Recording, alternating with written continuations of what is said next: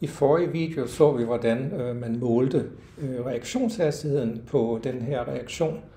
Øh, og det gjorde man ved at måle, hvor meget øh, af det her produkt, der bliver lavet, ved at følge volumen øh, af gassen, øh, som, blev, som blev lavet under reaktionen. Og det gør man så som en funktion af tid, og så øh, til sidst lavede man så øh, det her plot ud fra, fra det her data. Øh, og reaktionshastigheden, det er så øh, hældningen på den her kurve. Så det er, hvor meget H2-koncentrationen øh, ændrer sig som en funktion af tid. Så den reaktionshastighed øh, kan man så øh, altså måle mange steder på kurven.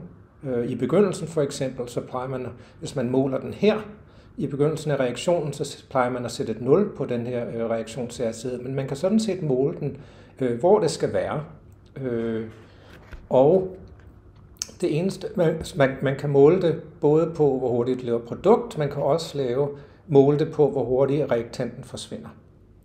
Så alt efter, hvordan øh, stoikometrien er øh, for den her reaktion, så kan man så definere den her reaktionshastighed øh, på, på alle måder, altså det vil sige både på alle reaktanter og på alle produkter. Øh, man skal lige være opmærksom igen på stoikometrien, så hvis man for eksempel danner to mol af det her, øh, D, så skal, så skal, skal man have et total her for ligesom at relatere det. Øh, langt de fleste gange i kurset, øh, der vil man øh, definere reaktionshastigheden på, øh, som en ændring i, hvordan produktet, øh, hvordan produktkoncentrationen ændrer sig. Men der er også andre eksempler. Øh, så grunden til, at øh, reaktionshastigheden ændrer sig over tid, det er, at koncentrationerne øh, af reaktanterne også ændrer sig. Ikke? Så de bliver omdannet til produkt. Øhm, og derfor, hvis der er mindre reaktant, kan man selvfølgelig også derfor kunne lave mindre produkt. Øh, og det kan man ligesom systematisere her. Der er første ordens reaktioner, øh, hvor reaktionshastigheden øh, afhænger af øh, koncentrationen øh, af reaktanten, og kun det. Ikke? Så det vil sige, reaktanten det er et reaktantmolekyl, som bliver omdannet øh, til et øh, produktmolekyl. Og det kan man så skrive både sådan her, øh, som en funktion af reaktantkoncentration, der ændrer sig, og også sådan her, som en funktion af produktkoncentration, der ændrer sig. Bemærk her, at der er et minus. Det er fordi reaktant, reaktanterne forsvinder, det vil sige, at koncentrationen bliver mindre. Og her er et plus, det vil sige, at man danner øh, produkt.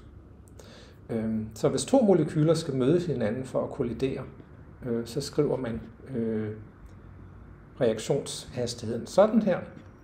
Øh, og igen, i begge tilfælde er det så øh, afhænger de både af koncentrationerne af reaktanterne og så en konstant K, som vil være forskellig fra reaktion til reaktion.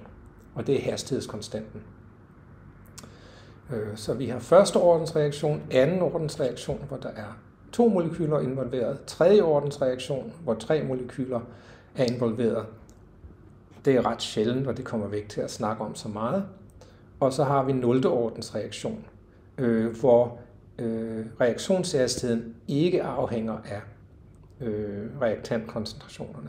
Og det er så tit, fordi der er en katalysator eller et eller andet andet, øh, som, som øh, reaktanten skal finde. Og så afhænger det nogle gange mere af, af den, her, øh, den her koncentration, som er konstant, fordi den ikke bliver opbrugt.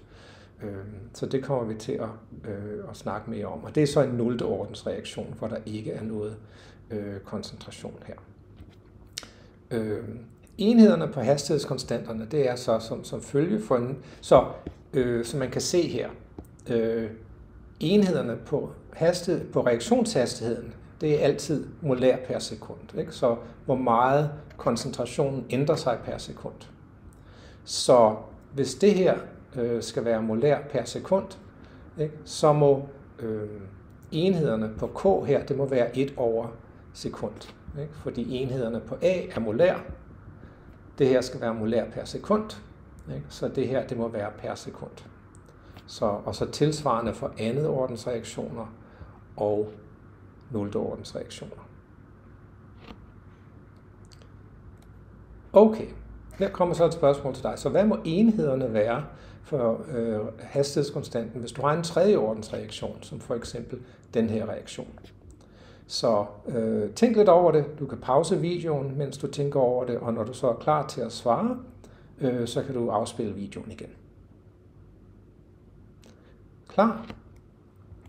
Så svaret her er så 1 over molær i anden øh, gange sekund. Ikke?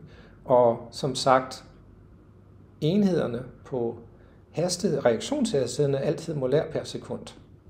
Hvis du har en tredje ordens reaktion, ikke, så må du have molær i tredje her, øh, og derfor skal du dividere det her med molær i anden og gange det med sekund for at få de her enheder.